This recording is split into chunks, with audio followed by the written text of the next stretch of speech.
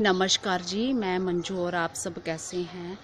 आज अगस्त की 26 तारीख है और मैं अपने बहन भाइयों से ए, कुछ उन्होंने जैसे कोई बहुत सारे कॉमन सवाल पूछे हैं तो उनके थोड़े से जवाब दूँगी। ये भिंडी के बारे में बताऊँगी।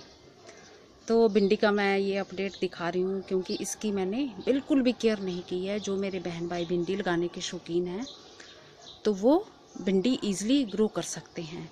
तो ये जो मैंने एक्सपेरिमेंट के तौर पे भिंडी लगाई थी और इनको, बल्कि मिट्टी भी ज़्यादा नहीं मैंने डाली, मेरे पास इतनी मिट्टी थी ही नहीं। थोड़ी थोड़ी मैंने वो भी पोली बैग में ग्रो की थी और ना ही इनमें खाद बिल्कुल भी नहीं डाली, किसी भी किस्म की खाद नहीं डाली।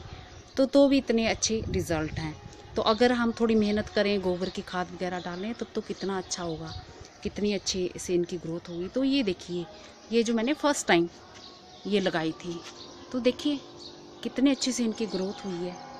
ये, और ये छोटे छोटे पोली बैग में, और एक प्लांट भी नहीं एक एक बैग में मैंने दो दो, तीन तीन प्लांट लगा दिए हुए हैं। सिर्फ़ मैं देखना चाहती थी कि ये मेरे यहाँ होती है कि नहीं, ये देखिए। ये देख पा रहे हैं आप?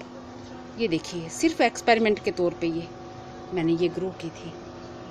और एक छोटे छोटे पोली बैग में इतने इतने सारे ये प्लांट्स मैंने इकट्ठे इकट्ठे लगा दिए हैं। तो अगर एक लगाई होती, जैसे ये देखो, एक छोटा सा पोली बैग है, ये। ये जो पाँच किलो चावल वाला है, और कितना ये खाली है, बीच में फोल्ड काफ़ी किया हुआ, आधा तो मैंने ये फोल्ड किया हुआ है, अंदर की ओर चला गया है मिट्टी में, फोल्ड किया, और इतनी सी बस मिट्टी भरी है इसमें, ये। और मुझे लग रहा था शायद ये अगर प्लांट नहीं होगा तो इसके साथ मैंने ये एक गेंदे के लगा दिए थे। और किसी किसी में तो ये भी उतना ही बैग है छोटा सा और इसमें इकट्ठे चार प्लांट लगे हैं। तीन भिंडी के लगा दिए और एक गेंदे का। और इसमें भी तीन, और उसमें भी दो। ऐसे मतलब सब में इसी तरह से लगाए हुए हैं मैंने, और भिंडी देखे, और कुछ नहीं। बल्कि मिट्टी अगर इनमें और मैंने चढ़ाई होती, खाद पानी दिया होता, पानी तो देती हूँ, खाद वगैरह तो इनकी बहुत अच्छे से ग्रोथ होती और अभी भी ये देखो फूल कितना आ रहा है। ये देख पा रहे हैं आप? फूल भी आ रहा है और ये भिंडी भी आ रही है। तो कुछ भी केयर नहीं की। मिट्टी थोड़ी होने से ये है कि मेरे यहाँ तो बरसातें भी नहीं हो रही हैं और धूप इतनी तेज़, इतनी गर्मी पड़ रही है।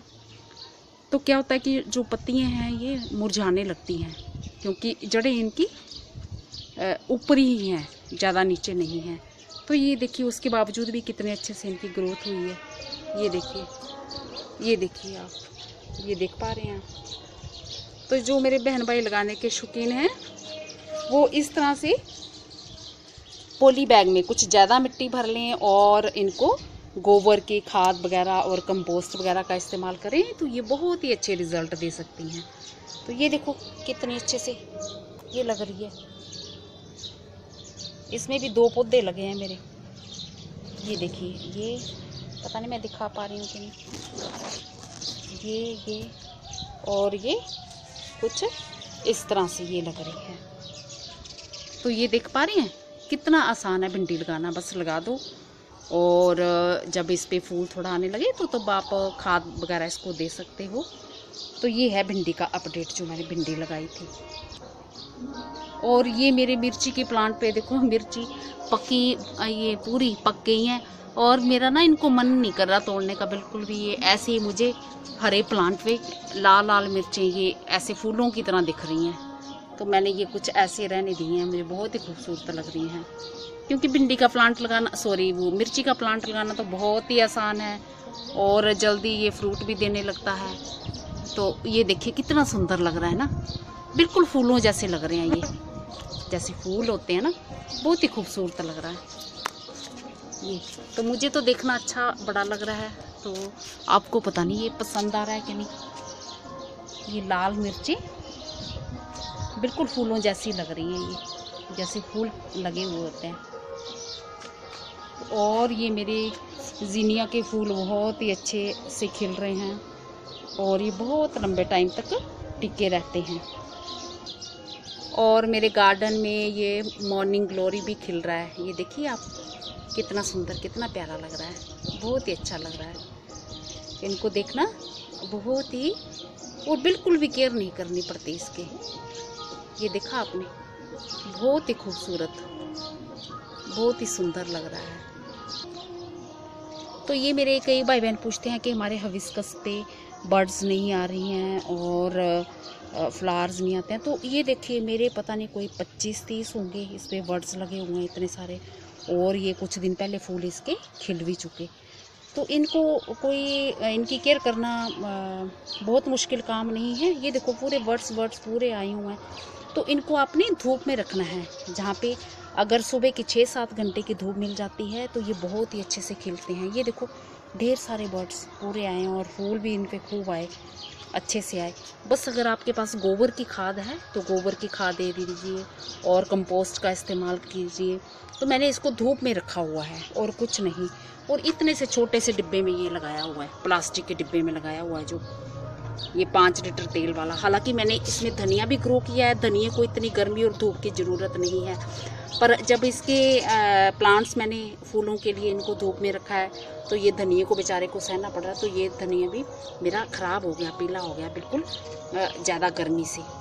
तो क्योंकि धनिया को इतनी तेज़ धूप की ज़रूरत नहीं होती है तो मैंने गलत जगह में इसको ग्रो कर दिया। तो इस डिब्बे में ही साइड में लगा दिया था। तो अब इसको तो तेज़ धूप चाहिए, ज़्यादा धूप चाहिए। तो ये देखो, कितने सारे ढेरों इतने खिल रहे हैं। और ना कोई इस पर कीड़े का अटैक है, ना कुछ है। तो आप खुद ही देख लीजिए। पता नहीं मैं दिखा पा रही हूँ कि नहीं दिखा पा रही हूँ, क्योंकि धूप आ रही है। तो इतनी सारी ढेरों इस पर बर्ड्स आई हुई हैं और कितने सारे फूल आए हैं। तो मैं पता नहीं, गिन रही थी, पच्चीस से ज़्यादा मेरे को ये लगे गिनने में। मैंने देखे, खूब सारे खूब सारे, जितने भी ये बर्ड्स बन रही है, पूरे आ रहे हैं ये, सारे। सब में आ रहे हैं। तो बस आपने इसको अपने प्लांट को धूप में रखना है। जहाँ पे धूप आ रही हो आपके, उस जगह में इसको रखें। और ये मेरा प्लूमेरिया का, देखो, ये भी एक छोटे से डिब्बे में प्लास्टिक के डिब्बे में ग्रो कर रखा हुआ है। तो इसकी कितनी अच्छी ग्रोथ हो रही है। हालाँकि इसकी गलत टाइम पे मैंने कटिंग कर दी थी। जब जिस टाइम फूल आने का टाइम हो रहा था, पर एक ही ब्रांच इसकी निकली। और एक हल्की सी साइड में ज़रा सा अभी फुटाब आया है, अभी निकली नहीं है। तो ये देखिए कितना अच्छा प्लांट मेरा हो रहा है, बहुत ही बढ़िया हो रहा है। अच्छा हो रहा है, छत पे इसको भी धूप में मैंने रख रखा और ये हमेशा की तरह, जैसे मैं दिखाती हूँ, ये देखो फूल मेरे गार्डन में इसके कितने खिल रहे हैं। हालाँकि घास फूस भी इस पर निकल आया है, बिल्कुल भी केयर नहीं करनी पड़ती। बस पानी देती हूँ मैं इसमें। तो एक बारी जो लगाए थे लगाए थे, और इतने सारे फूल, ढेरों फूल कब से खिल रहे हैं ये मेरे गार्डन में? ये देखा आपने? बहुत ही खूबसूरत लग रहे हैं, ये दूर से दिखाती हूँ मैं आपको। ये देख पा रहे हैं आप? कितने खूबसूरत लग रहे हैं, ये देखिए। कितने प्यारे और ये पिटूनिया भी, ये भी काफ़ी दिनों से खिल रहे हैं। ये देखा आपने? ये मेरे पिटूनियाज़। और ये जो कल गुलाब पे मैंने वीडियो बनाया था, ये बहुत ही सुंदर प्यारे। तो होप करती हूँ कि भिंडी पे आज का वीडियो मेरा पसंद आया होगा और जो मेरे बहन भाई जब लगाना चाहते हैं, जब भी लगाएँगे तो इसे इजीली ग्रो कर सकते हैं। इसके साथ बिल्कुल भी केयर नहीं करनी पड़ती। कुछ नहीं करना पड़ता। और बल्कि मैंने तो कुछ भी इस इस पे ज़्यादा मिट्टी की ज़रूरत है, इसको और खाद की ज़रूरत है। और मेरे पास है नहीं और मैंने डाला नहीं तो भी ये इतना अच्छे से फ्रूट दे रही है। और एक चीज़ मैं और दिखाती हूँ। वो मेरी किसी बहन की फरमाइश थी। ये मेरे दो अडेनियम के प्लांट जो रह गए थे तो वो ये कल मैंने ग्रो किए हैं। ये मेरी किसी बहन ने पूछा था कि उनको आप दिखाएँ तो ये हैं वो। तो बहुत दिनों से वो टोकरी में ही पड़े हुए थे और मैं लगा नहीं पा रही थी। तो ये फिर इस तरह से हैं। तो दो दो ही अभी लगाए हैं तो इनकी जब अच्छे से ग्रोथ और होने लगेगी, फिर मैं इनको अलग पोट में ट्रांसप्लांट करूँगी। तो होप करती हूँ कि जिन मेरी बहन ने इसकी फरमाइश की थी तो आज वो मेरे ये अडेनियम के उन्हीं के कारण मैं ये ट्रांसप्लांट भी कर पाई नहीं तो वो पता नहीं कब तक ये नीचे ही पड़े रह जाते।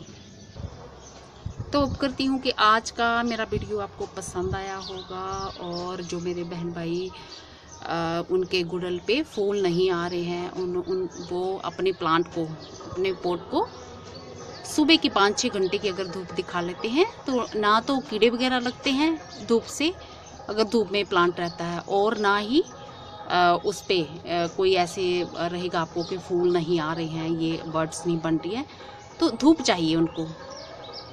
और आपको लगता है कि आपका प्लांट जो है कमज़ोर है अच्छी हेल्थ नहीं है तो आप उसमें गोबर की खाद डालिए कंपोस्ट डालिए और वो मट्ठा डाल सकते हैं जिसको लस्सी बोलते हैं हम।